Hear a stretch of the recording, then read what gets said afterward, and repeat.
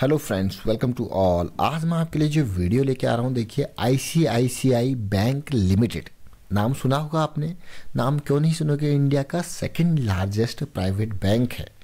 और इसका आज Q3 क्वार्टर थ्री यानी कि जो दिसंबर 2018 वाला क्वार्टर ख़त्म हुआ, उसका रिज़ल्ट आया है। तो कैसा रहा इसका परफॉर्मेंस चलिए उसके बारे में जानते हैं। और अगर आप सोच रहे हो कि भाई आई बैंक इंडिया का सेकंड लार्जेस्ट बैंक कैसे हो गया? पहले नंबर पे कौन है? थर्ड नंबर पे कौन है? चलिए उन सबको भी देखते हैं। इस छोटे से वीडियो में उससे पहले मैं आपको बता दूँ, अगर आपने चैनल को सब्सक्राइब नहीं किया तो प्लीज़ सब्सक्राइब ज़रूर कर लें और बेलाइकन को प्रेस कर लें, जिससे आपको नोटिफिकेशन आती रहेगी। अभी देखिए आईसीआईसी बैंक के बारे में सबसे पहले जानते हैं। आईसीआईसी बैंक लिमिटेड आप देखिए रिटेल बैंकिंग की बात करें कॉर्पोरेट बैंकिंग की बात करें ट्रेजरी ऑपरेशन की बात करें तो बैंकिंग की दुनिया का टॉप का स्टॉक माना जाता है ICICI bank limited market capitalisation दो लाख पैंतीस हज़ार करोड़ के आसपास है और रिटर्न ऑन कैपिटल एम्प्लॉयड पाँच परसेंट रिटर्न ऑन इक्विटी देखिए छः सात परसेंट के अराउंड चल रहा है सेल्स ग्रोथ चार परसेंट के अराउंड है। अर्निंग पर शेयर देखिए, पाँच रुपये के अराउंड है। तो इस तरीके से आपको लगा होगा बैंकिंग सेक्टर में इतना मतलब मज़ेदार स्टॉक सा नहीं लग रहा होगा, लेकिन अगर आप देखोगे, ये कंपनी ये बैंक जो है, देखिए, अगर आप प्राइवेट सेक्टर के बैंक की बात करते हो सबसे टॉप पे आपका आता है H D F C bank H D F C bank तो इंडिया में ही नहीं एशिया में अगर एक दो बैंक को छोड़ दिया जाए चाइनीज़ बैंक है एक दो तो उसके बाद देखिए टॉप पे आता है। लेकिन सेकंड नंबर पे आईसीआईसी बैंक आता है और आईसीआईसी बैंक का अच्छा खासा रुतबा है। अगर आज की डेट में देखोगे तो पाँच परसेंट उछाल देखने को मिलेगा देखिए फाइव परसेंट जंप तो भाई अल्टीमेट कहूँगा मैं इसको। अभी रिज़ल्ट जो आया वो शाम को आया है। लेकिन शेयर में उछाल पहले से ही है। मतलब लोगों को पहले ही अनुमान होता है, लोग प्रिडिक्ट करते हैं। ऐसे बड़े बड़े स्टॉक्स को लोग पहले ही प्रिडिक्शन लगाते हैं एनालाइज करते हैं कि कैसा रिज़ल्ट रहेगा। हिसाब, किताब, लेखा, जोखा सब उनके पास रहता है। तो इसीलिए देखिए रिज़ल्ट से पहले पहले ही पाँच परसेंट उछल गया। और इस प्राइस पर पाँच परसेंट बहुत बड़ा अमाउंट होता है और इतने बड़े शेयर के लिए खासकर। एक्सिस बैंक का अच्छा रिज़ल्ट आया था तो डेफिनेटली उसके बेसिस पे देखिए एक्सिस बैंक भी साढ़े चार परसेंट पाँच परसेंट का अराउंड ये भी उछला है। तो ऐसे ऐसे बैंक तो चलिए जानते हैं क्या रिज़ल्ट इस उछाल के अकॉर्डिंग रहा कि नहीं है? क्या ये उछाल कल कंटिन्यू रहेगी या फिर इसमें गिरावट देखने को मिलेगी? वो सब जानते हैं, देखिए रिज़ल्ट में। अगर मैं आपको ले चलूँ रिज़ल्ट की तरफ़ देखिए रिज़ल्ट सबसे पहले कब आया? रिज़ल्ट आज साढ़े सात साढ़े पाँच बजे के अराउंड सौंपा गया। बीएससी की वेबसाइट पे आपको मिल जाएगा। साढ़े पाँच बजे के अराउंड अपलोड हुई है जो रिपोर्ट ये। तो आप ये देखिए, जो रिज़ल्ट आया है वो देखते हैं हम बिल्कुल एंड टू एंड रिज़ल्ट देखते हैं। अगर हम सबसे पहले बात करते हैं इंटरेस्ट अर्न की, कितना इंटरेस्ट अर्न किया? तो जो बैंक ने इंटरेस्ट अर्न किया, सोलह हज़ार दो सौ अस्सी करोड़ का इंटरेस्ट मिला इस क्वार्टर में, यानी कि क्वार्टर थ्री और पिछले क्वार्टर में पंद्रह हज़ार एक सौ पाँच करोड़ का इंटरेस्ट मिला था और लास्ट ईयर दिसंबर क्वार्टर में तेरह हज़ार छः सौ पैंसठ करोड़ का इंटरेस्ट मिला था। इंटरेस्ट के पर्सपेक्टिव से बढ़िया उछाल देखने को मिला है। चलिए, ये तो आपको पॉजिटिव लग रहा होगा। लेकिन अगर हम देखें इसकी टोटल इनकम टोटल इनकम जो हुई है बीस हज़ार एक सौ तिरसठ करोड़ की हुई है दिसंबर क्वार्टर में। लास्ट क्वार्टर सितंबर क्वार्टर में अट्ठारह हज़ार दो सौ बासठ करोड़ की है लास्ट ईयर सोलह हज़ार आठ सौ बत्तीस करोड़ की टोटल इनकम हुई थी। अब हम चलते हैं प्रॉफिट की तरफ़। धीरे धीरे नीचे आते हैं profit net profit and loss for the period देखते हैं। तो नेट प्रॉफिट जो हुआ है, वो 1604 1605 करोड़ के अराउंड हुआ है। तो मैं तो कहूँगा भाई, बहुत बढ़िया प्रॉफिट है। अब देखिए, पिछले क्वार्टर में कितना प्रॉफिट था? पिछले क्वार्टर में मात्र 908 करोड़ का प्रॉफिट था। 908 मतलब कि बहुत कम प्रॉफिट था पिछले क्वार्टर में। अगर क्वार्टरली बेसिस पे कंपैरिजन किया जाए तो this profit is much larger than last quarter लेकिन अगर ईयरली बेसिस पे आप देखोगे तो ईयरली बेसिस पे पिछले साल दिसंबर क्वार्टर में 1650 करोड़ का प्रॉफिट शो किया था आईसीआईसी बैंक ने। इस बार कितना है? 1604 तो टोटल कितनी गिरावट आ गई? ऑलमोस्ट पैंतालीस छियालीस करोड़ की कमी देखने को मिली है। कितने? 1604 करोड़ है और 1605 करोड़ है। पिछली बार 1650 करोड़ था। तो मतलब 45 करोड़ के अराउंड की गिरावट देखने को मिली है। तो मेरे हिसाब से तो स्टेबल है। कोई ज़्यादा डिफरेंस देखने को नहीं मिला, लेकिन पिछले क्वार्टर के कंपैरिजन में बहुत बढ़िया उछाल देखने को मिला है। तो ये तो रहे भैया प्रॉफिट टोटल इनकम की बात। अब हम बात करते हैं भाई और लोग क्या कह रहे हैं अलग अलग न्यूज़ वेबसाइट क्या कह रहे हैं। देखिए I C economics Times dot com पर अगर आप देखोगे I C I C bank fresh slip slippage at fourteen quarter low पिछले चौदह क्वार्टर का लो देखिए की क्वार्टर थ्री टेक अवेज देखिए। सारे बता रहे हैं भैया, कम जो प्रॉफिट है, वो पिछले क्वार्टर के कंपैरिजन में कमी देखने को मिली है। और अगर हम देखें आगे देखें मनी कंट्रोल पे देखिए three percent gross N addition देखिए नेट एनपीए रेशियो जो है, वो डिक्रीज हुआ है।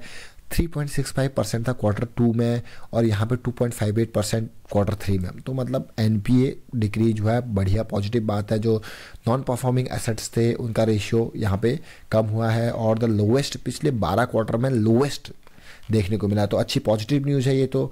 और अगर हम देख, देखते हैं इसका, आगे आई बैंक पर बिज़नेस स्टैंडर्ड बिज़नेस टुडे की न्यूज़ देखें तो आई बैंक का क्वार्टर थ्री ये सब ईयर ऑन ईयर बेसिस पे प्रॉफिट की बात कर रहे हैं, जो 1605 करोड़ का था तो पिछले क्वार्टर में 1650 करोड़ का था। उसकी बात चल रही है। आई बैंक ये देखिए, अलग न्यूज़ देखिए बिज़नेस स्टैंडर्ड की। भैया सारे वही चीज़ बात कर रही है, लेकिन क्वार्टरली बेसिस पर अगर आप देखा जाए तो बढ़िया तरीके से, और आप इस टर्म्स में जैसे हमने बात करी थी कि अगर हम देखें क्या चीज़? नेट इनकम नेट इनकम देखें टोटल इनकम देखें तो उसमें बढ़िया तरीके से जंप देखने को मिला है। तो कहीं ना कहीं आने वाले टाइम में इसका असर आपको देखेगा और पॉजिटिव अब हम शेयर के प्राइस की तरफ़ जाते हैं। तो प्राइस देखिए, बढ़िया शेयर है नो डाउट टू थाउज़ेंड सन 2000 में ये शेयर छः रुपये का शेयर हुआ करता था। आज की डेट में देखिए, तीन सौ पैंसठ का शेयर है। और कई बार इसमें अप्स एंड डाउन चलते रहे। सबसे ज़्यादा तो 2008 में जब मार्केट क्रैश हुई थी तो दो सौ का शेयर मिलने लग गया था, पैंतालीस रुपये में। भैया 260 का शेयर चाल दो मतलब ये मान के चलिए 240 का शेयर चालीस रुपये में मिलने लग गया था तो किस लेवल पे? वन सिक्स हो गया था मतलब किसी ने अगर एक आ, किसी ने साठ हज़ार रुपये लगाए होते तो उसके पास कितने बचते? मात्र दस हज़ार रुपये तो इस तरीके से इतनी गिरावट देखने को मिली थी 2008-9 में। उसके बाद सेकेंड टाइम फिर इसमें जब गिरावट आई थी वो गिरावट आई थी तीन सौ अट्ठावन का शेयर जब गिरा था बिल्कुल एक सौ बहत्तर तक आ गया था। और अभी आई बैंक का आपने सुना होगा जैसे चंदा कोचर जी इन्वॉल्व है। किसी जो भी केस उनके ऊपर चल रहा है उसके ऊपर इंक्वायरी चल रही है अगर उसमें कुछ किस तरीके के नतीजे आते हैं क्या इंक्वायरी बैठाई जाती है क्या उनके अगेंस्ट जो वो गिल्टी प्रूव होते हैं कि नहीं होते तो उसके बेसिस पे इस शेयर में और गिरावट देखने को मिलती है क्या कुछ आ, ए, तो इस टाइम पे अगर ऐसी कोई न्यूज़ आती है तो आई बैंक में डेफिनेटली गिरावट देखने को मिलेगी और जो इसका निचला स्तर है भैया शेयर को आप देखोगे, कभी आप इन लेवल्स पे अगर आप बाई कर लेते हो सपोज़ आपने यहाँ पे ख़रीदा तो अभी हमेशा रोते रहते भाई मैंने तीन सौ तिरपन पे ख़रीदा, यहाँ ख़रीदा, अब मेरे को मौका नहीं मिल रहा। तो मैं तो हमेशा यही कहता हूँ, इंतज़ार कीजिए, अच्छे शेयर जो आपने ख़रीदने हैं, उनकी लिस्ट बना लीजिए। जब उनकी आप लिस्ट बनाते हो और उनका प्राइस नोट कर लीजिए कि क्या ट्रेंड चल रहा है। जैसे मेरे हिसाब से इसका असली बाइंग प्राइस 210 अभी करंट टाइम अगर चला जाएगा 220 230 के अराउंड ही है। यहाँ पे अगर ये मिल जाए तो बहुत बढ़िया शेयर है। तो इन लेवल्स पे अगर आप देखोगे, या फिर इस ट्रेंड के अकॉर्डिंग देखा जाए तो 300 के, इस ट्रेंड लाइन के अकॉर्डिंग देखा जाए तो 300 के आसपास ही इसका बढ़िया बाइंग प्राइस है। अदरवाइज़ इसका बाइंग प्राइस ये दो रेंज मुझे दिख रही है। अगर मैं यहाँ पे ख़रीदना चाहूँगा तो मैं लॉन्ग टर्म पर्सपेक्टिव से अगर ख़रीदना चाहूँगा तो मैं यहाँ पे तीन सौ सत्तर अस्सी के अराउंड कभी नहीं खरीदूँगा, क्योंकि निचले स्तर पे खरीदूँगा लॉन्ग टर्म पर्सपेक्टिव से। तो ये आई बैंक के बारे में आपने देखा होगा। अगर आप पिछले दस साल का इसका प्रॉफिट एंड लॉस देखते हैं तो किस तरीके से परफॉर्म किया रिवेन्यू किस तरीके से ग्रो कर रहा है, और प्रॉफिट देखिए, बढ़िया तरीके से ग्रो कर रहा है नो डाउट प्रॉफिट भी रेवेन्यू भी। अब मैं आपको दिखाता हूँ आई बैंक के बारे में और डिटेल्स में। क्या आई बैंक डिविडेंड देता है? मेरा पहला क्वेश्चन जी हाँ आई बैंक डिविडेंड देता है, लेकिन बहुत कम डिविडेंड पे कर रहा है। पिछले दो हज़ार सोलह, सत्रह, अठारह की बात करें तो बहुत कम डिविडेंड पे किया है।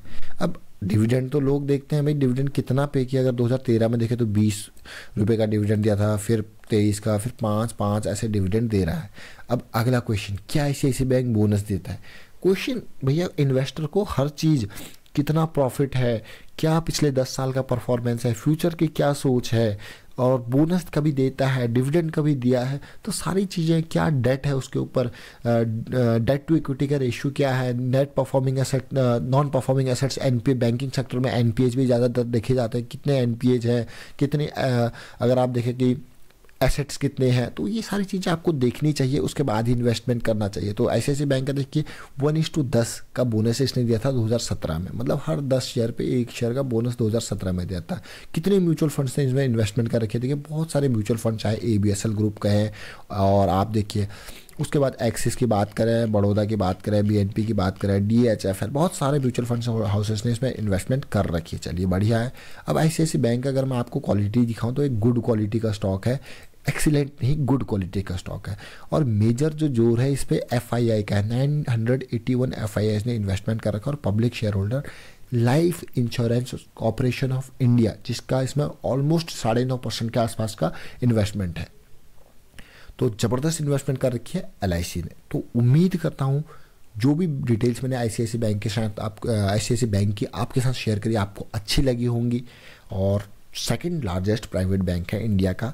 रिज़ल्ट आया. Result year on year basis पे क्या है? कमी देखने को मिली है. क्वार्टर ऑन क्वार्टर बेसिस पे जंप देखने को मिला है. एनपीए में गिरावट आई है. तो ओवरऑल आपका रिज़ल्ट मैं मतलब इतना बढ़िया नहीं कहूँगा, अगर ईयर ऑन ईयर बेसिस पे भी थोड़ा जंप देखने को मिला तो और बढ़िया होता। क्वार्टर ऑन क्वार्टर बेसिस पे अच्छा है नो डाउट लेकिन ईयर ऑन ईयर बेसिस पे कमी देखने को मिली पचास करोड़ प्रॉफिट में। तो वीडियो अच्छा लगा तो वीडियो को शेयर ज़रूर कीजिए लाइक कीजिए चैनल सब्सक्राइब किया तो प्लीज़ सब्सक्राइब ज़रूर करना और बेलाइकन को प्रेस कर लीजिए जिससे आपको नोटिफिकेशन आती रहेगी। And thank you thank you for watching the video